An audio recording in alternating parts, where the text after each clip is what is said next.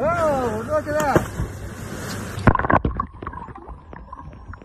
He's right here.